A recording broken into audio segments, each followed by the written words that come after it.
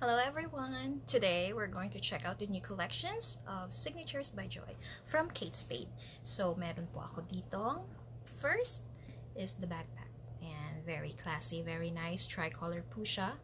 And as you can see, meron po siyang logo here at the back. And a little tiny and spade na nandyan sa harapan. So here you have one pocket And then, inside, meron po siyang very spacious na pagkalagyan nyo ng inyong gamit. Meron din po siyang zipper. And then, meron din po siyang pockets here. Ayan, sa loob. Pwede nyo paglagyan ng kung ano-ano. Ayan. So, yan po yung itsura ng ating Kate Spade backpack. And it's very nice, very classy po siya, as you can see. Ayan. Close up look. Ayan po. So, you can use this for everyday use or even any occasion. This will be a perfect match for your outfit. Yan. And then also we have here, a sling bag.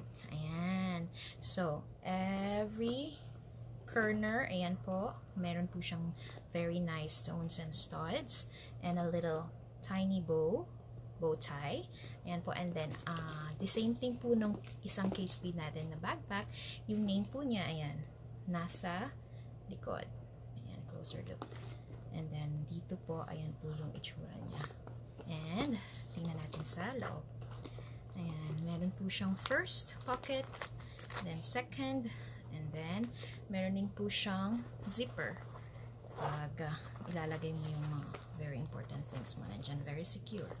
And also, it comes with, hmm, what else? Ayan, small pocket sa loob, and then zipper. Yan lamang po. And, ayan.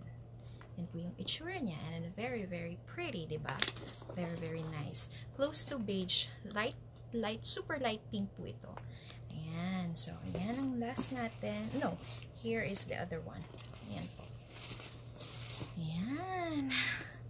Ito po naman is handbag and uh, pwede po siyang gawing crossbody bag. So, it comes with a tassel and also pag uh, titingnan natin yung loob niya, yan po, very spacious. Meron din po siyang zipper. And meron din po siyang small pocket sa loob. Yan. Yan po. So, that's the third collection. Uh, check out nyo na lang po yung other pictures nito sa baba or sa next uh, next uh, slide ipapakita ko po doon. Ayan. So it comes with the logo ayan little tiny logo and yung uh, brown and black na animal print is very nice po sa pa nakakapagpaputi ng pa. And then the other one is yung light pink natin. Ayan Lettery Birch din po siyang logo. And then very light. Actually actually uh, just so happen na now ko lang po na na-realize na pwede po pala natin i-match itong ating sling dito kay Tori.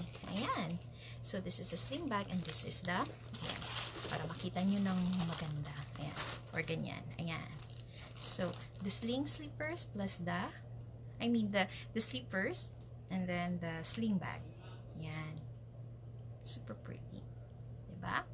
Yan naman po for now. Thank you for watching. Bye-bye! So, So, so,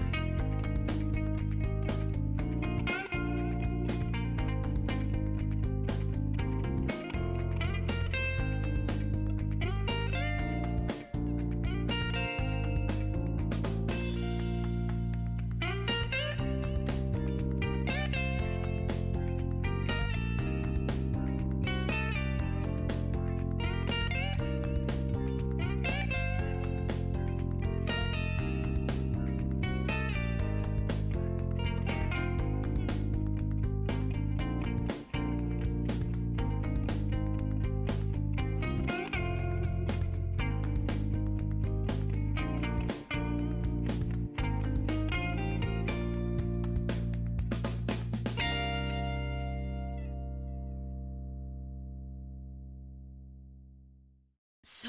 so, so.